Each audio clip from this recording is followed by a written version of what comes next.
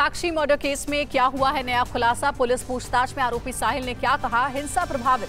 मणिपुर दौरे के दूसरे दिन कहाँ कहाँ जाएँगे अमित शाह? जम्मू कश्मीर में आतंकियों ने किसे बनाया निशाना? देश की तमाम बड़ी खबरें देखते हैं भारतवर्ष टॉप नाइन। में साक्षी हत्याकांड के आरोपी साहिल को रोहिणी कोर्ट में पेश किया गया। कोर्ट ने उसे दो दिन की पुलिस रिमांड पर भेज दिया है।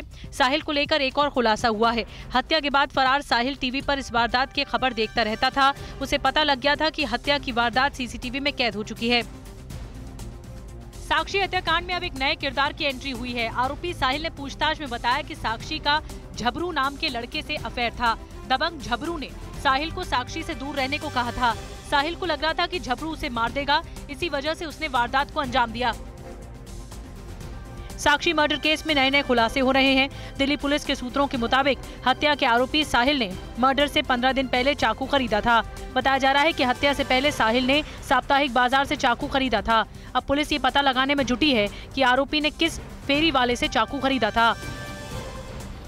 जम्मू कश्मीर के अनंतनाग में आतंकियों ने आम नागरिक को फिर बनाया निशाना। आतंकियों ने मनोरंजन पार्क में काम करने वाले एक मजदूर को गोली मारकर हत्या कर दी। मजदूर का नाम दीपू है और वो उधमपुर का रहने वाला था। पुलिस ने एफआईआर दर्ज कर जाँच शुरू कर दी है। मणिपुर हिंसा के बाद गृह मंत्री अमित शाह मणिपुर दौरे पर हैं। शाह ने मुख्यमंत्री बीरेन्द्र सिंह समेत वरिष्ठ अधिकारियों के साथ बैठक कर हालात की जानकारी ली। गृह मंत्री ने इम्फाल में महिलाओं के प्रतिनिधि मंडल से भी मुलाकात की। शाह हिंसा प्रभावित इलाकों का भी दौरा करेंगे। दिल्ली के पूर्व डिप्टी सीएम मनीष सिसोदिया को दिल्ली हाई कोर्ट से झटका लगा है। शराब घोटाला मामले में कोर्ट ने उनकी जमानत याचिका खारिज कर दी। कोर्ट ने अपने आदेश में कहा कि सिसोदिया के खिलाफ आरोप काफ़ी गंभीर हैं। सिसोदिया दिल्ली हाई कोर्ट के फैसले को सुप्रीम कोर्ट में चुनौती देंगे।